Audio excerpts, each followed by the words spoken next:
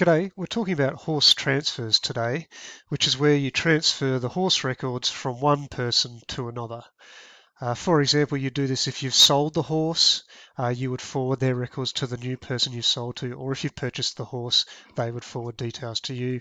If you lease your horse out, or maybe just uh, lend your pony to a friend, but they're going to be taking over uh, the farrier work or medication or whatever that horse needs, you would forward the record to them for management under horse records. So let's get to it. So I've got a horse here, Rannoch. I'm going to transfer him and I'm just going to pick my friend and my friend's name is Tim. So I'll just go uh, thanks Tim. Um, good to meet you yesterday. Uh, funds have been received. Which is what we all want when we sell a horse. Okay I'll just fix the grammar so that my mother-in-law can look me in the eye Okay, and then if I just click here, send transfer request. And what that does is that emails Tim. It says, hey Tim, um, uh, Andy has forwarded Rannoch to you. Uh, please click the link and take it over. So let's look at the email that Tim would get. So this is the email Tim would get. Uh, it's from Horse Records. Uh, it's got the horse's name in the subject.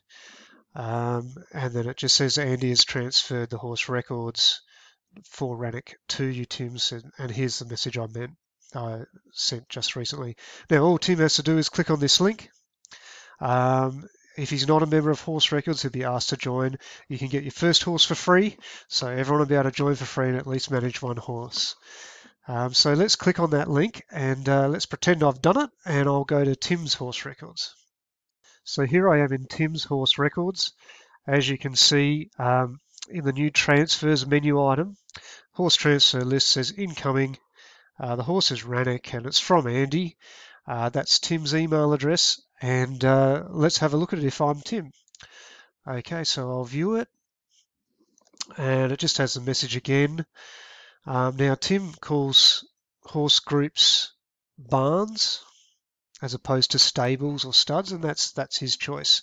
So Tim can select which barn or stable or horse group he is allowed to add horses to to add Rannoch to.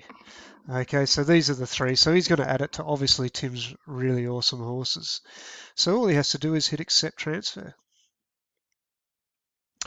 And as you can see, the messages transfer is accepted.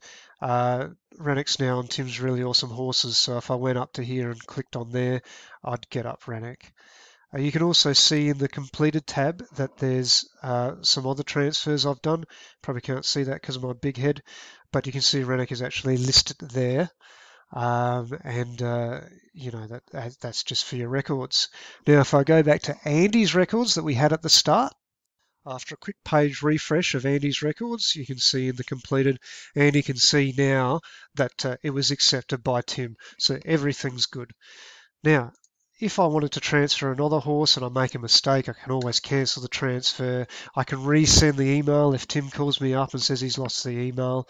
Um, and it just sits in incoming transfers there, oh, sorry, outgoing transfers there until it is resolved and hits in completed. So that's horse transfers. Pretty exciting little feature that we've added today. It's the last major feature I'm adding before we um, begin testing. Uh, I've just got to do all the account and profile stuff. So you have different levels of horse records depending on how many horses you're managing, and there'll be a different amount that you pay each month for the for the number of horses. First horse is free. The next, the first paying level is twelve dollars um, a month, uh, but if you chat nicely, there'll be a voucher there to give you 20% off, and the other levels are coming soon. So I'll be working on that next. Uh, hope you enjoyed this video. Let us know what happened down in the comments. Thanks.